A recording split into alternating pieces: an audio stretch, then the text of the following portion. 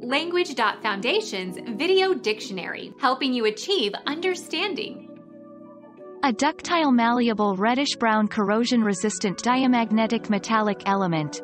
Occurs in various minerals but is the only metal that occurs abundantly in large masses.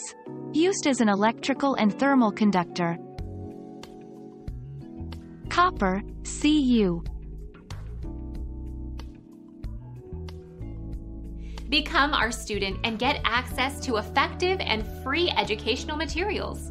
Subscribe to our channel to become a part of our growing community and to learn English effectively.